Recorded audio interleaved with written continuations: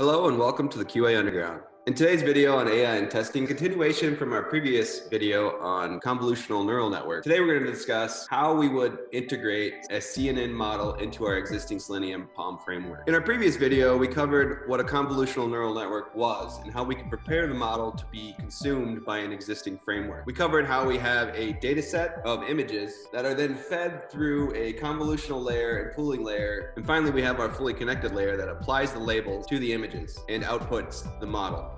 So the first thing I want to talk about is existing automation frameworks, right? Selenium specifically, we have a number of different frameworks that we can utilize. We have data-driven frameworks, modular-driven frameworks, hybrid frameworks. Really, there's too many to list here. The reason why we're picking the page object model is because the POM frameworks are incredibly popular within the test automation space. They've been around forever, so they've had the opportunity to mature under different development life cycles. They're easy to read, they're easy to understand, they're scalable, and they encourage reusable code via the page object class. So next we're gonna break down the Selenium POM framework architecture. So the first thing that you usually have in a POM framework is the test scripts.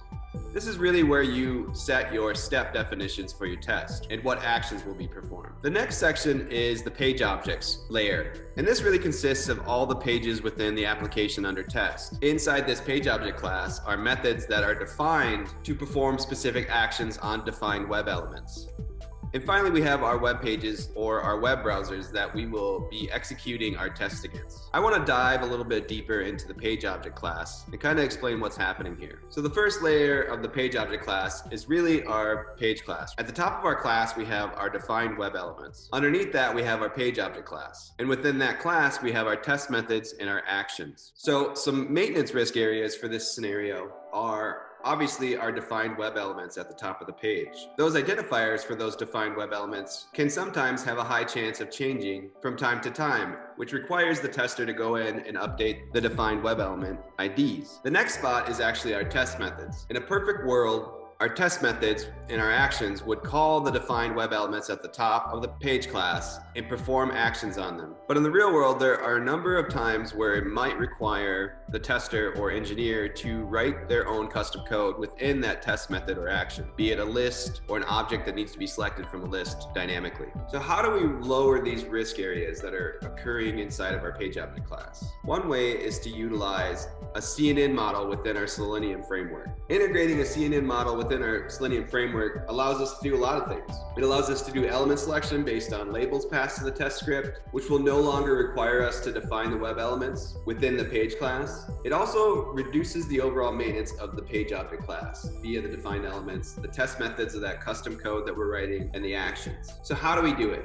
In a previous video, I covered how a team can begin to create an AI enabled test strategy. The two key concepts from that video are creating two buckets, one AI candidates and another being non AI candidates. The non AI candidates being the human tester. And the thing that you want to look at when you're creating those buckets are what are what is my team trying to achieve? Are we trying to lower maintenance? Are we trying to make test authoring faster? Are we specifically looking to hand off the workload of identifying web element selection? This part is really key in defining how you would enable a convolutional neural network into your framework. So let's go over briefly what we would need to have set up to be able to integrate a convolutional neural network into our existing Selenium framework. First things first, in this example of Google, I've highlighted all the elements on the page. And one of the first things you need to do is you need to actually scrape the web elements from the page. So you need to collect and gather all the web elements from the application that are under test. While you're collecting those web elements, you also need to capture the identification for each web element. So those IDs, those XPaths, all that additional information that are associated with the element. Once you have that collected, then you need to send a list of the elements to the CNN model.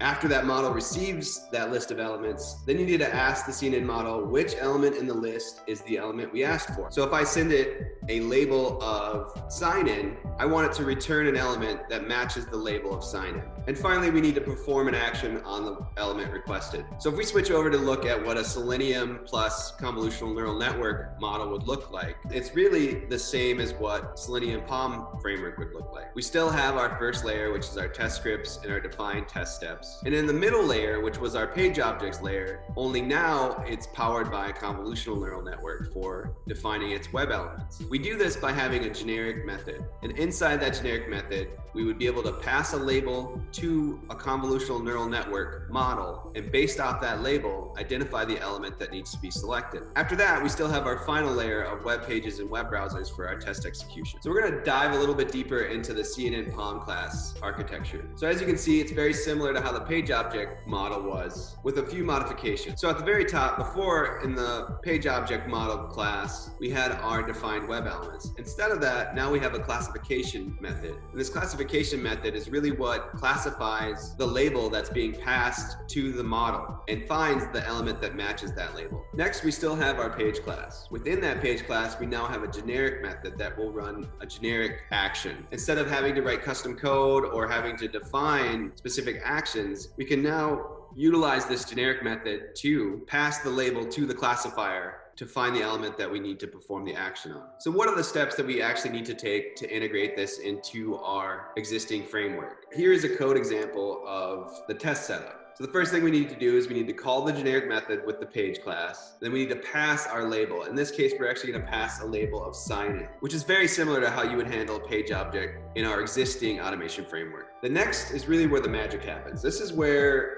Inside the page object class, we define how that relationship with the convolutional neural network is. There's a number of tasks that we need to do within the page object class once we pass that label to the generic method. The first thing is we need to collect a list of elements. Then we need to pass that list of elements to the convolutional neural network model for classification. And finally, we need to return the element that matches the label that we passed it. In our code example here, you can see at the top, we have our categories, which is the categories within the convolutional neural network that we will be looking at. And we have a model parameter. And that model parameter is basically loading that convolutional neural network model that we generated previously. Inside our generic method, we have a parameter that will go out and generate a list of all the elements that are on the page. Once it has that list of elements, it'll then gather all that data and the elements to a list and then send that list with the label that we passed it to the CNN model. Once the model has it, it will then iterate through that list until it finds an element that matches the label being passed to it. Once it finds that match, it will then return that element